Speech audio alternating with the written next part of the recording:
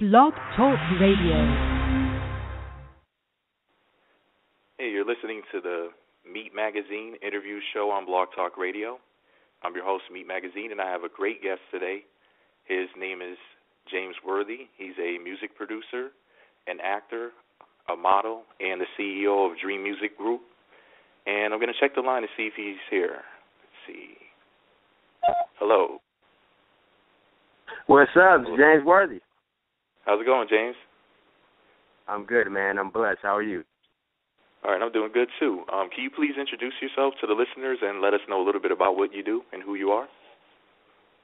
Sure. Uh, well, yeah, I go by the name of James Worthy, uh, musician, songwriter, uh, model, and actor. You name it, I do it. Um, just pretty much a all-around guy in the entertainment industry. You know, I've, I've been in the the industry about seven years now, so it's it's been a while.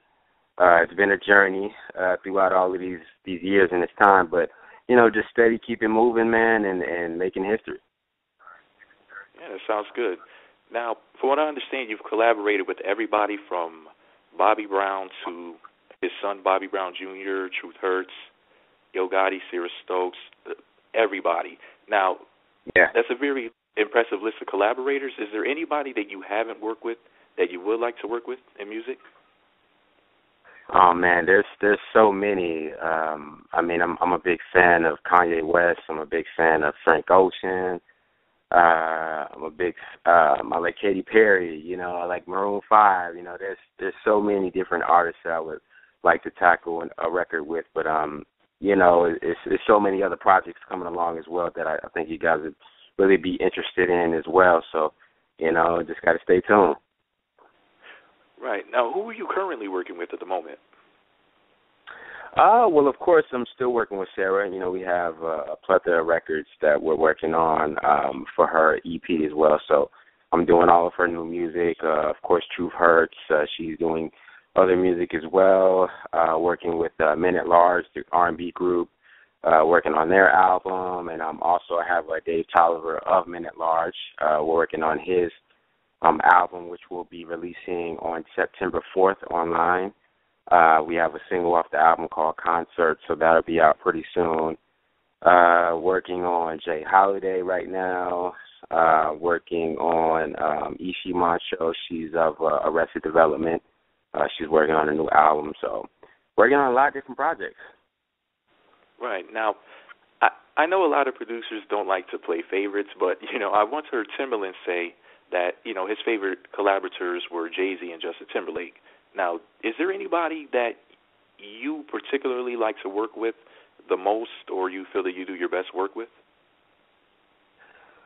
Uh, that's that's kind of hard a little bit. You know, I I really have different experiences with with all of my clients, but you know, it, I guess it really just depends on what we're working on. You know, I have a great time working with Sarah, have a great time working with Truth, great time working with Avant. You know, there's there's just a lot of different people I have different experiences with, but they're all great in their own right. All right, that that definitely makes sense. Now, from what I understand, you're not originally from Atlanta, but you're there now. Where are you originally from? Um, I'm originally from New York. Uh, been in Atlanta for quite some time, but uh, originally from New York. Okay. Now Atlanta's like like little Hollywood at this point. I mean, it's it's pretty much a star-studded place. Uh, are there any odd or unexpected places you've ever bumped into celebrities?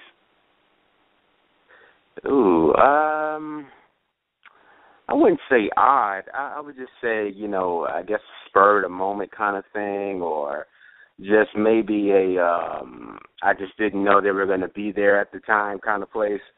Um, you know, you never know nowadays. You can meet anybody anywhere. Um, so it really doesn't even matter what the place is. You just got to make sure your approach is right. right, most definitely. Now, your nickname is J Dreams. How did you come up with that nickname? You know what? Um, I didn't even come up with that nickname. Like It was more of just a, a fan nickname than anything. Um, you know, it kind of started in the beginning of my career. Um, you know, I just gained a fan base and you know, of course, my name is James, and you know, I guess the people kind of took it as you know my career path and my dream was to be in the music industry and, and be in entertainment. So, you know, I guess they kind of put the two and two together, and you know, made it J Dreams. Yeah, that definitely makes sense. Now, I, from what I understand, the name of your company is Dream Musik Group. Now, yes, did that name come from the nickname J Dreams? You know what? Ironically, it didn't. Um, you know, it just kind of came about. Um, I had a dream, you know, one uh, random night, and I just knew that I was gonna be successful in the music industry, and I knew that um, what I wanted to do was destined for me. You know, there's no shortcuts. There's no retirement in this for me. You know, it's just something that I really want to accomplish and do. Um, so I kind of just took that inspiration and, you know, I formed Dream Musik Group. Right. Now you're making your dreams come true. so yeah, Absolutely. it, it all comes together. Now, when you were growing up, were you a band, rather in band at school, or were you formally trained in the art of music? Uh, a little bit. Um, I wasn't really trained. Um, I learned a lot of things through, you know, experience and being around different things. So I kind of took it through that, you know, in, in middle school and high school, you know, I I played uh different instruments just to experiment with, but you know, nothing uh classically trained or anything like that. But um, you know, like I said, I just kind of played by experience and by ear and learning different techniques throughout the years and, you know, just perfecting my craft. Right. Well, you know, sometimes it is best to to learn on your own. You know, you, it's like you never know what you could come up with. And I know a lot of people, for example, who are formally trained, kind of get stuck in a, a certain playing style, and yeah. it's like, you know, it's kind of difficult to add your own little twist to it. Now, who were some of the musicians, and what are some of the songs that you listen to uh, that influenced you to want to become a producer? Oh wow. Uh I was a big fan of Quincy Jones. Um I was a big fan of Q-Tip, big fan of Timbaland, um Dr. Dre, you know, just any anybody who was really uh instrumental and and innovative in what they were trying to accomplish. You know, these guys have all made their marks um in this industry um through their own right. You know, they've made uh classic material and um, that's something that I, I truly respect and I gravitate towards um, whenever I look up to someone, you know, like those guys. Um, you know, I can remember, you know, back in the day, I used to listen to Dru Hill all the time. You know, Dru Hill, man, I think their their first album, I believe, uh, Into the Dragon, man, I, it was just great to me. You know, real R&B, real soul, real lyrical content. You know, I really want to hear that again. You know, that that really drew me in um a lot. So shout out to those guys.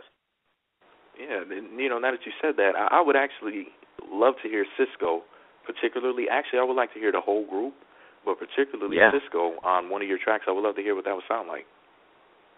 Yeah, my you and me both. I you know these these guys are you know uh legends in their own right. You know they've pretty much opened a lot of doors for for these R and B groups, man, and and really solo R and B artists. You know, um, classic material. You know. Right now, besides Dru Hill, I also heard that you're a super fan of Michael Jackson. Now, yes. if you could get your hands on some unreleased vocal tracks from Michael, what would you do with them? Like, would you maybe put it to a trap beat or maybe some Euro pop? What what direction would you go in? You know what? That's that's really interesting. I really don't know what approach I would take with that. I just how I would have to experiment with that and and see what I could come up with. You know, that would be very interesting. Um you know, when you, anything with Michael Jackson, you know, you got to bring your A game. You know, it's it has to be something out of this world. So, it's something I really would have to hone in on. Right.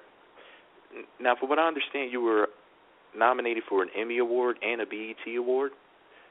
Did you attend the ceremonies the times you were nominated? Um, for the BET, um, I did attend the ceremony for the BET, which was great. Um, you know, great experience. You know, it's, it's always a good experience when you when you attend a award shows like that. You know, it's cool vibes, and you know, you're meeting all your peers and your friends, and, and meeting new people as well. That's always good.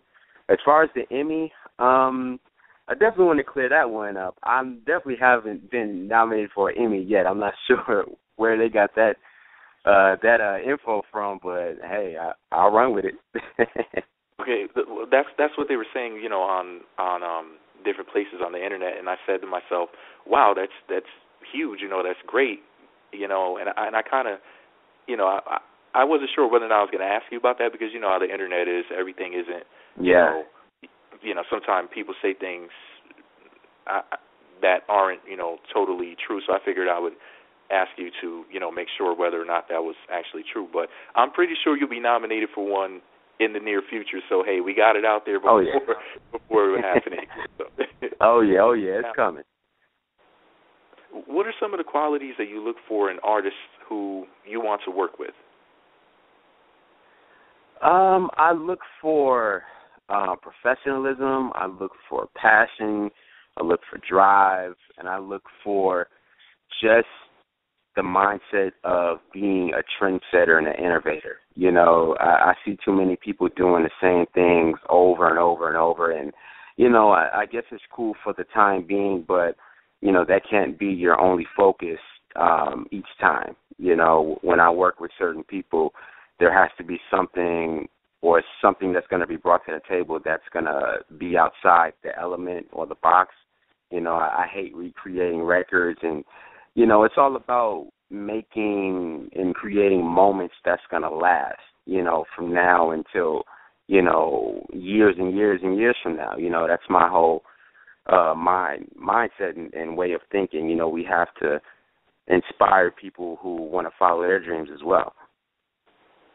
Right. Yeah, definitely. I I noticed that too, like with the whole originality factor. You know, sometimes I listen to these tracks and I can't tell one from the other. Like I remember one time recently, I was listening to somebody's song, and I said, "Isn't that so and so song called so and so?" And then come to find out it was it was something completely different. And I said, "Wow, yeah. if I played both these songs at the same time, one laid over the other, it, they would probably pretty much match up perfectly." It, yeah, yeah, it, it's unbelievable. Now, when you're in the studio and you're creating a track, do you usually start with drums, a bass line, a lead? How do you go about constructing your music? Uh, you know what? It it depends sometimes. You know, sometimes I may start out with the drums. I may start out with just a, a simple chord progression or a melody. I may start out uh with a acapella that I may have laid down and, and kind of form the track around that. You know, it, it kind of just depends on what I'm feeling and and where I'm trying to go with the track. Um, you know, I may start something and come back to it uh, in a day or two. You know, it just kind of depends on the moment.